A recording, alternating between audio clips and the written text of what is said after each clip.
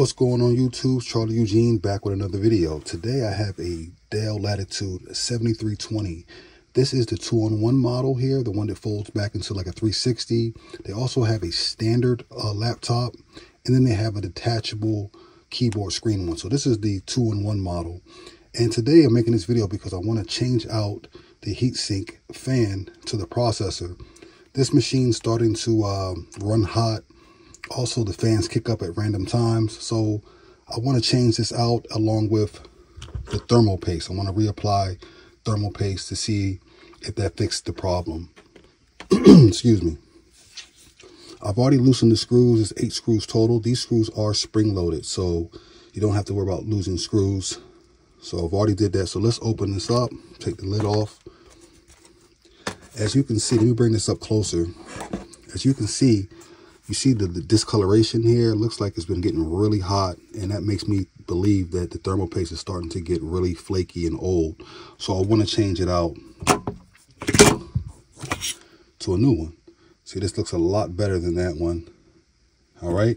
You might not have to change out your fan. You might just want to clean your fan with a, uh, some air dust can or toothbrush and get that dust out of there and just reapply thermal paste. But I'm just going to do the whole process for you guys. And also, before I start, the SSD is right here. I already changed this out. I didn't want to make a video on that because it's a really easy process. Underneath this uh, cover here, it's just two screws, two screws to hold this cover in place, and you can pop in a new SSD, the uh, typical size, the most common size, the 2280 size, or whatever size you want, actually. Uh, mine's came with a 2230 size with a little adapter piece, and then I just popped in the 2230, I mean, excuse me, 2280. All right, so I didn't want to do a video on that. It's very easy to do that, all right?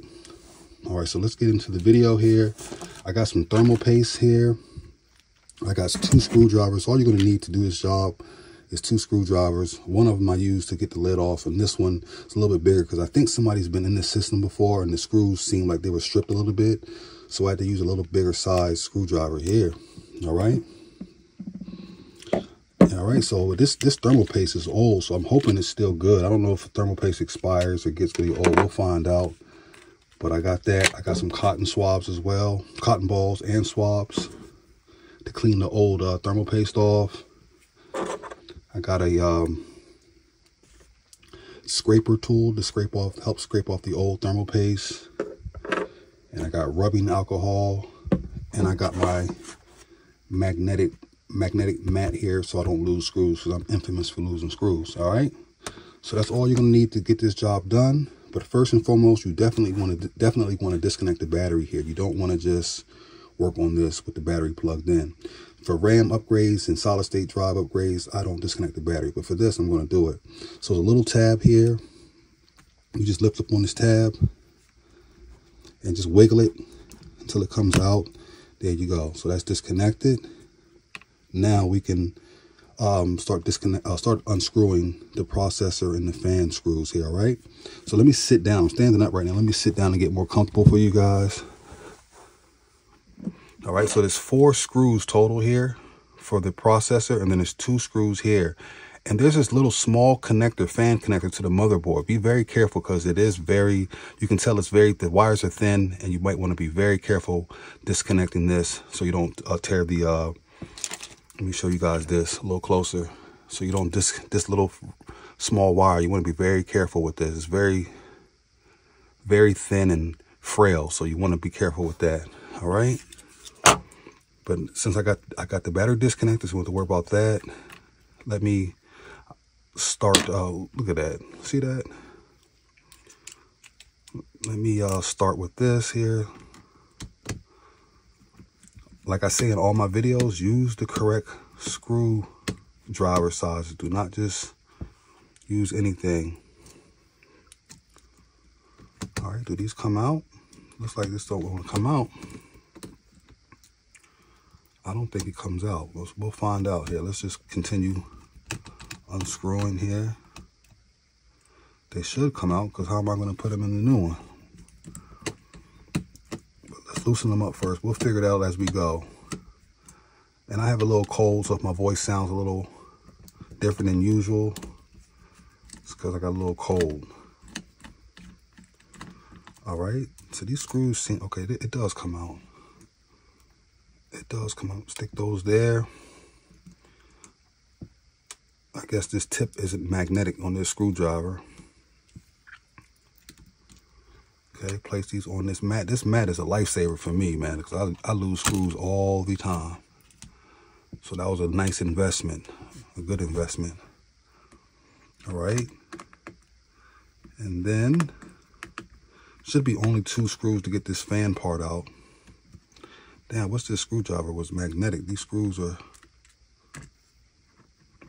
starting to just go anywhere, everywhere. Put these over here so I know these are for the fan.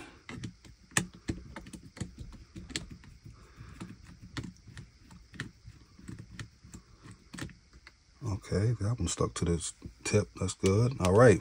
So now that should be it as far as all the screws. Let's disconnect this part. Like I said, be very careful when you disconnect this because the wire is very thin. There we go. Now, should come off. We're going to find out. There's a tab right here that you can lift up on for this side. Let's see. Yep. There we go. Out of there. So the paste doesn't look too bad. So that might not have been the issue. It doesn't look too bad, but I'm, I'm definitely going to um, clean this chip off and then reapply it and put it back on and see the difference. Excuse me. This is a very easy job, guys. Let's see if these fan companies are the same. Yeah, this fan, I don't know. I don't know which one's OEM. Because uh, as you can see, it's definitely different. All right, don't know. And that might be why. If you look at the difference here, this one looks gray, grayish in here, and this one looks black. So I don't know which one's OEM. I'm, I have a feeling that the new one, well, not the new one, the, the, the used one I bought off of eBay is the OEM part. So let's let's put this to the side. And this is the hard part, guys. So I might fast forward this part of the video because cleaning off this, this paste can be kind of a headache, but we'll see how it goes, all right? Bear with me, guys. Bear with me. Let me do the Q-tip first. Dip that in here and let's start applying it. Okay, see that? It's coming off pretty easy, so I don't have to fast forward. Oh yeah, that's very easy. Very easy to apply this paste on here as well. I just hope my paste isn't too old because I haven't used it in a long time. If, if that if that's the case, I'm probably going to have to um, go get some thermal paste at Micro Center. And then I'll probably have to stop filming this video and then add a, set, a part two to this video. But we'll see. I don't know. Does, does thermal paste expire, guys? Let me know in the uh, comments below. I don't know. So clean that off really good. This is your processor right here. You want to clean this off really good. That looks good. Yep, that looks good. So that looks good. So what I'm going to do, let me try this new paste. This might help, man. I hope it helps because this machine is decent. It's only got 8 gigs of RAM. Unfortunately, the RAM is soldered for this model, but it's still a decent machine. And like I said, I'm using uh, uh, Apple a lot more these days. If, if you saw my last video talking about seven reasons why I like Mac over Windows, but it's always cool to have Windows machines around. If I can get this open, let me see if I can get this open. This is in here pretty good. All right. Got that off. Let's see, man. This paste, I don't know. So I would imagine you would want to paste right here on this part and this part as well. Those two parts probably get really hot. So let's see. Oh yeah, this paste is still good. So I would do like two little circles, two little dots. Don't get too carried away with the paste because it just gets really messy and you don't need as much as you think you do. All right. That should be good. Let me do maybe a little bit more on this side. All right. That should be it. Now, also, I make sure you clean off. You don't want to leave too much residue from the old paste on there. You want to clean as best you could. I couldn't get this little bit here off, but that should be good enough. All right, so you want to make sure to get the old residue off. Now, let's set this bad boy down. I would say line the fan up first with the screws and then drop it down. Put a little pressure on it. Don't get too crazy with it. There you go. Now what I'm gonna do, I'm probably gonna put one screw in um, in the processor and then one screw in the fan just so it stays lined up. Let me see here. I'm probably gonna do this screw here first.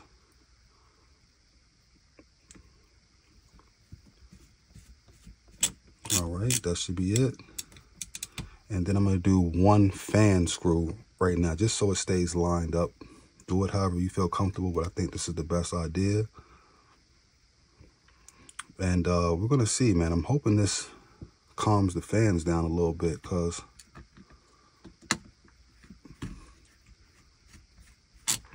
it randomly gets loud and it's kind of weird. All right, so now I'm going to fasten down the other screw.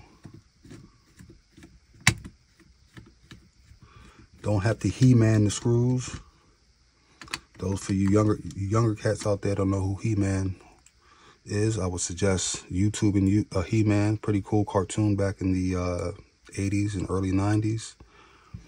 All right.